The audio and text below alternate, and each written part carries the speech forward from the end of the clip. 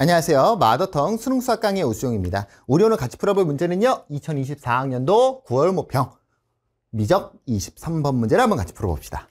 자, limit x가 0으로 갈 때 극한값을 구하래요. 당연히 대입해봐야 될 거고요. 0분의 0꼴이 된다. 아, 지수함수의 극한의 형태죠. 기본적인 모양 뭐예요? limit x가 0으로 갈 때 x분의 e의 x승 빼기 1이고요. 여기서 제일 중요한 거는 여기에 있는 x와 여기에 있는 x가 똑같이 생겨 먹어야 된다라는 거였어요.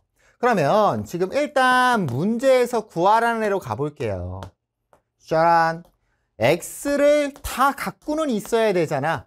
그러니까 위아래에 x로 싹 다 나눠줄게요. 그 다음에 이제 맞춰주는 거지. 얘가 7x잖아요. 그럼 일단 식 안 변했죠. x, x 나눴으니까. 그럼 얘가 7x니까 여기도 7x가 돼야 될 거고 7을 써주자. 그럼 여기 곱하기 얼마가 될 거고 7이 될 거고. 그럼 식 안 변하죠? 마찬가지로 2x죠? 그럼 여기에 2를 써주고 식 변하면 안 되니까 2를 써주자. 식 변해요? 안 변해요? 안 변합니다.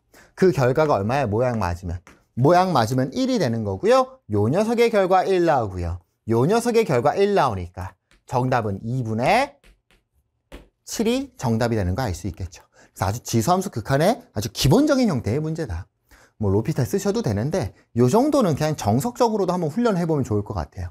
정답은 2분의 7, 4번이 정답이 되겠네요. 감사합니다.